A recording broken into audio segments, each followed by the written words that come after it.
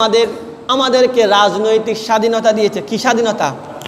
কারণ ব্যক্তি জীবন পরিচালনা করার জন্য কি লাগবে?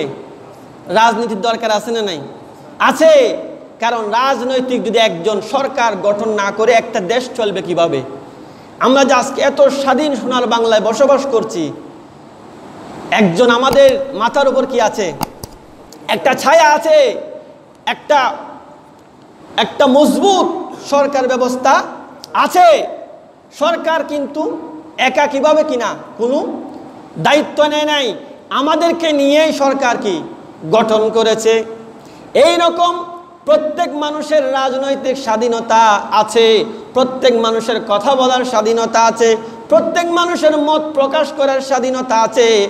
রাজনৈতিক স্বাধীনতা যখন আপনাকে দেওয়া হবে, সমাজের মানুষ যখন আপনাকে রাজনৈতিক স্বাধীনতা দিবে, আপনাকে যখন সমাজের নেতা বানাবে, আপনার উচিত হবে না একজন মজলুম মানুষকে, একজন অসহায় মানুষের উপর জুলুম কর।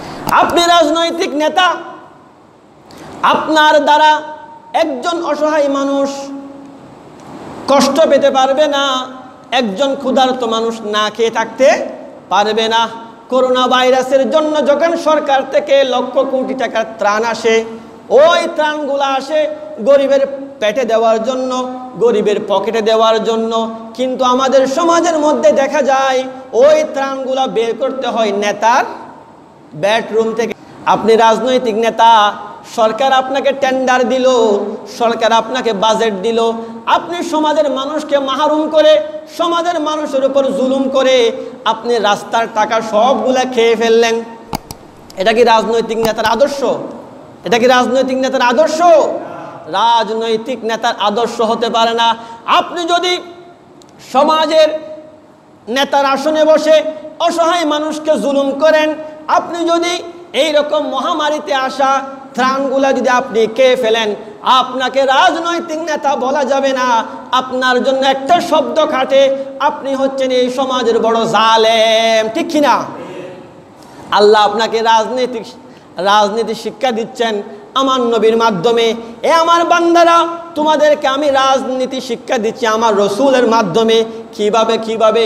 আল্লাহ আমার রসুলের মাধ্যমে বলছেন, ইন্না আনজালনা ইলাইকাল কিতাবা বিল হাক্কি লিতাহকুমা বাইনান নাস। বড় করে বলেন, সুবহানাল্লাহ, ইয়া রাসূলুল্লাহ, ইয়া হাবিবাল্লাহ, আমি আপনাকে সত্য সহকারে একটা কোরআনুল কারীম কিতাব দান করেছি। ওই কোরআনের মধ্যে অনেকগুলা বিধান আমি সমাধান আর সমা সামাজিক সমাধান, ব্যক্তিগত সমাধান, রাজনৈতিক সমাধান, অর্থনৈতিক সমাধান। ইয়া রসুল্লাহ ইয়া হাবিবাল্লাহ, আপনি হলেন পৃথিবীতে যত মানুষ এসেছিল, যত মানুষ আসবে, সবার নেতা। আপনি কোরআন মতে সমাজের মানুষের সমস্যাগুলাকে সমাধান করে দিবেন। রাজনৈতিক শিক্ষা দিয়েছেন কে? রাজনীতি? আল্লাহ নবীর মাধ্যমে শিক্ষা দিয়েছেন যে, ইয়া রাসূলুল্লাহ, ইয়া হাবিব আল্লাহ সকল সমস্যার সমাধান আমি কোরআনের মধ্যে দিয়েছি। ওই বিধান মতে আপনি সমাজের মধ্যে যত ধরনের সমস্যা আছে, সব মানুষের সমস্যার সমাধান করে দিবেন বড় করে বলেন সুবহান আল্লাহ কিন্তু এখন আমাদের দেশে যারা রাজনীতি করে, তারা কি রসুলের আদর্শ মানে? মানে মানে না। যখন মহামারীর সময় সরকার থেকে ত্রাণ আসে, আমরা খেয়ে ফেলি। একটা রাস্তা দিয়ে মানুষ হাঁটতে পারছে না, কাদামাটির রাস্তা। সরকার যখন টেন্ডার দিলে আমরা খেয়ে ফেলি। এলাকার জন্য কোনো টেন্ডার আসলে আমরা খেয়ে ফেলি। অসহায় মানুষের উপর জুলুম করি। মানুষের জায়গা জমি অন্যায়ভাবে নিজের নামে করে ফেলি, এরকম আছে না নাই? আরও জুড়ে বলেন, আছে না নাই? এটা কি রসুলের আদর্শ নাকি শয়তানের আদর্শ? জুলুম করা কার আদর্শ? শয়তানের আদর্শ। আমার আল্লাহ রসুলের মাধ্যমে শিক্ষা দিয়েছেন, ওগো আমার বান্দারা, কিয়ামত পর্যন্ত যারা রাজনৈতিক নেতা হবা, তাদের একটা দায়িত্ব, সেটা হচ্ছে সমাজের মধ্যে যত ধরনের সমস্যা আছে, তুমি নেতা হয়ে ওই সমস্যাগুলার সমাধান করবা। বড় করে বলেন